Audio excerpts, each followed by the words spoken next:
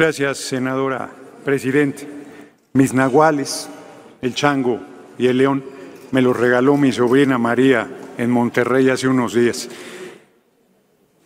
Larga vida a la normal rural de Ayotzinapa. Larga vida a los padres y madres de los normalistas que día con día se levantan con un brutal dolor a cuestas a buscar a sus hijos, a saber la verdad, esperando encontrarlos vivos.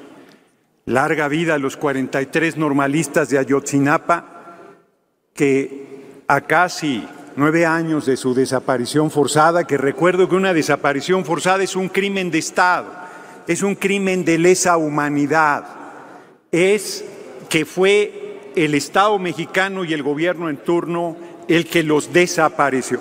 A los paniaguados eso no les importa, bromean ahí durante esa intervención porque no tienen corazón, porque no les importa que hayan desollado la cara de un joven vivo, torturado y luego asesinado, porque se olvida que hay seis personas asesinadas, además de la desaparición forzada.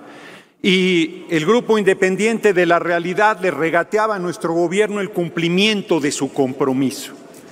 Alejandro Encinas, un funcionario extraordinario, compañero y amigo, larga vida Alejandro Encinas, presenta un informe duro y puro, contundente, donde no deja lugar a dudas que es un crimen de Estado, donde no deja lugar a dudas a la responsabilidad de los más altos niveles del gobierno, donde al procurador, entonces procurador general de la República, está preso por haber torcido las investigaciones, por haber hecho todo para ocultar lo que había sucedido esa noche de terror del 26 de septiembre de 2019.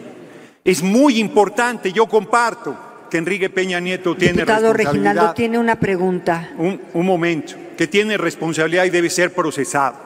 Yo comparto que el secretario de la Defensa Cienfuegos debe ser procesado pero bastante se avanza en acabar con la impunidad habiendo detenido al ex procurador general de la República, que la oposición no tiene vergüenza. Cuando hacemos señalamientos sobre ellos, dicen procedan si tienen elementos y se procede y se dicen víctimas de persecución política.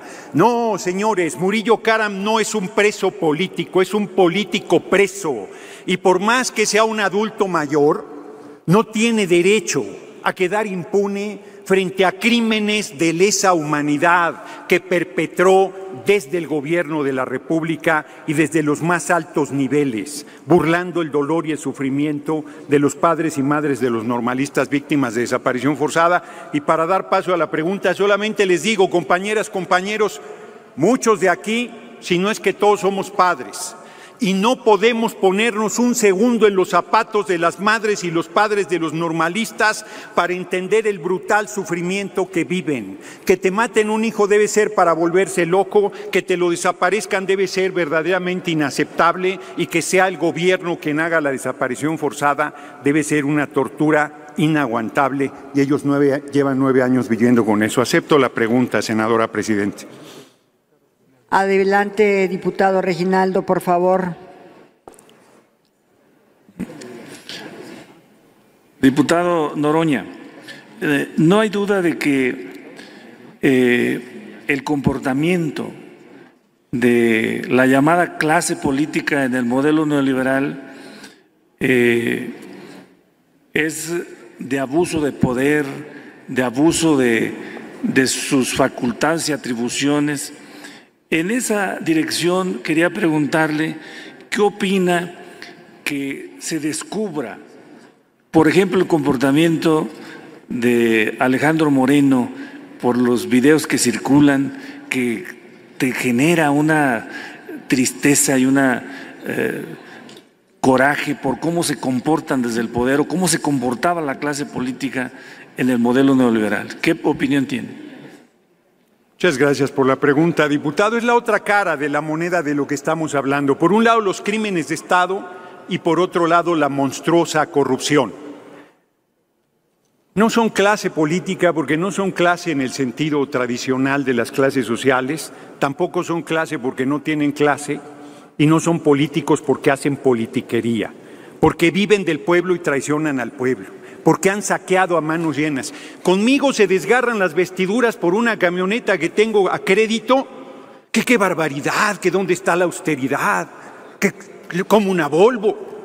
Y resulta que Alejandro Moreno tiene dos McLaren de 19 millones de pesos cada uno. 19 millones de pesos que pagó al contado como si fuera narco, además de la casa, además de montones de propiedades, además de la colección de relojes, además de un largo etcétera. Compañeros del PRI, ¿cómo justifican esto? ¿Cómo justifican que sea diputado federal? ¿Cómo justifican que sea su dirigente político? Ya se pidió el desafuero, se dicen perseguidos políticos. Bueno, el colmo Alejandro Moreno dice que ya me sacó de la Comisión de Gobernación. Quisiera. Él ya no es presidente de la Comisión de Gobernación y va a ser desaforado y va a ir a la cárcel, que es el lugar que le corresponde. Bueno, los audios que acaba de dar a conocer Laida Sansores, los WhatsApp que están en comunicación con Lorenzo Córdoba, que aquí he dicho que no es un árbitro vendido, que está del lado de la oposición, los desnuda de cuerpo completo la absoluta complicidad no solo es corrupción, no solo es tráfico de influencias, es desvergüenza monumental. Si el PRI, el PAN y el PRD tuvieran un poquito de dignidad y vergüenza, presentarían sus renuncias y se, se retirarían de la actividad política. No tienen cara, no tienen vergüenza, no tienen autoridad moral, no tienen ética, no tienen nada. diputado, ¿tiene otra pregunta? Sí, con mucho gusto. Del diputado Tomás Gloria. Gracias, presidenta. Eh, preguntarle si me acepta una pregunta. No se desespere, aquí el senador, el, el diputado Noroña está recetándole su dosis de hoy. Diputado, su opinión sobre las críticas presentadas y que planteara el maestro Alejandro Encinas en el informe del caso Ayotzinapa. Gracias por la pregunta y por, por permitirme volver al tema inicial que es una herida abierta. ¿Cómo puede haber críticas de la oposición a que se reconoce que es un crimen de Estado? A que se reconoce a los más altos niveles del gobierno participando en ese crimen de Estado. A que se cae la verdad histórica que era una majadería decir que los jóvenes habían sido asesinados y quemados sus cadáveres en el basurero de Cocula, cuando se necesitan mil grados centígrados para incinerar un cadáver con llantas, con llantas. ¿Cómo no se iba a enterar nadie con las tareas satelitales que se realizan hoy en día? Han sido no solo de una negligencia criminal, sino ha estado protegiendo Murillo Karam a los más altos niveles del gobierno. Reitero, por supuesto que Enrique Peña tiene responsabilidad y no debe quedar impune. Por supuesto que el exsecretario de la Defensa Cienfuegos tiene responsabilidad y no debe quedar impune. Y por supuesto que el ejército tiene que poner su parte institucional en que se deslinden responsabilidades y no se ha manchado el ejército completo con la acción de algunos de sus integrantes, de sus más altos mandos, sin duda. Porque a veces bajo la obediencia debida se perpetran crímenes monstruosos como este de lesa humanidad que no tienen justificación. Y para los que defendieron la verdad histórica, que no se han atrevido a dar una disculpa pública, les recuerdo que hay libros, historia oral de la infamia de Gilbert o Ayotzinapa, los rostros de Trino Maldonado, que acreditaron lo que hoy con más profundidad el subsecretario Alejandro Encinas a nombre de nuestro gobierno ha realizado. Grande también el compañero presidente que dice la verdad se debe conocer aunque duela y no vamos a ocultar nada y no vamos a descansar hasta que no queden procesados y no haya impunidad a los responsables de este monstruoso hecho del gobierno de Enrique Peña Nieto apenas a un año de su gobierno.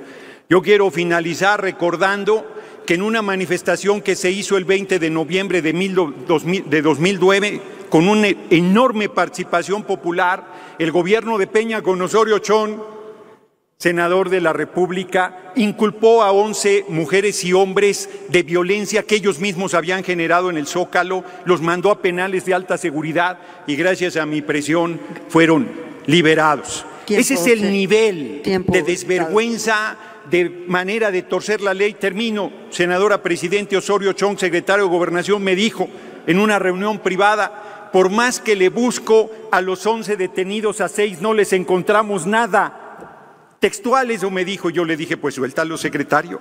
Si no les encuentras nada, suéltalos, son Gracias. inocentes. Ese es el comportamiento que tenían el PRI y el PAN cuando ejercieron el gobierno. Mientras tanto, disfrutan de sus McLaren, pero el tiempo se les acabó. Gracias. Muchas gracias, senadora presidente. Y muchas gracias, compañeras y compañeros.